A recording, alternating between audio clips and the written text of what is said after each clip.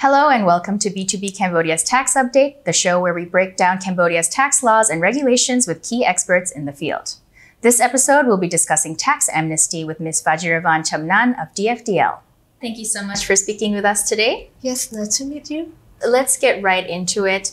Regarding the new Prakas 71, could you kind of share a little bit about what the purpose of this new Prakas is? Yeah, the, you are right. This recently there is a Prakas 71 reissued by the Ministry of Economy and Finance. The purpose of issuing this Prakas we understand it's to modify the previous Prakas which was issued 217 on the voluntary amendment for the incentive for the taxpayer. So the scope of this Prakas now it applies for the self-assessment taxpayer or withholding tax agent who they acknowledge or they unintentional making the declaration of the return incorrectly. So the Prakas encourage them to do the voluntary amendment in order to receive the tax amnesty we call the exemption for the penalty, interest, and also other tax obstruction from the GDT in order to apply on the amendment in case they have any underpaid tax. And what is the main differences with this new Prakas and the previous one? If we look at the current Prakas, it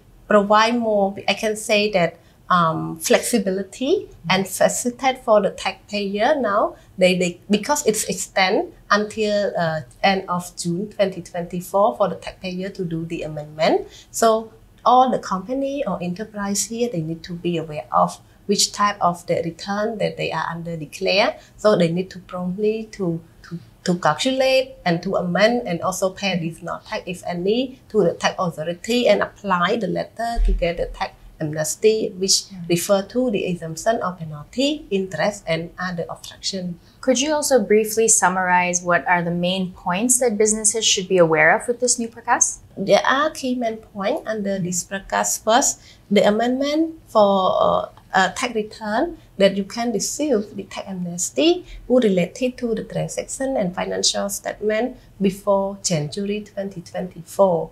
For any amendment of your return for the transaction that happened post January 2024, the enterprise could not entitle or, or receive the tax amnesty under the Prakas 71. And second point is that the amendment should be made or, or, or, or could be uh, amended return by the taxpayer before the discover of the tax issue by the tax auditor. So this is the key point. The, the issue is here, uh, we, we are not, because in the Prakas it does not uh, mention clearly uh, the term of discover the tax uh, audit, I mean the tax reassessment by the auditor. So you need to be aware of whether any uh, I mean, uh, indication of the tax finding that has been noted in the minute of meeting or any draft reassessment. So in case you amend, let's say you amend your tax return uh, based on the audit finding, you cannot uh, request or you cannot apply the tax amnesty under the Prakas 71. Mm-hmm. You need to pay this penalty 10% plus interest 1.5% per month.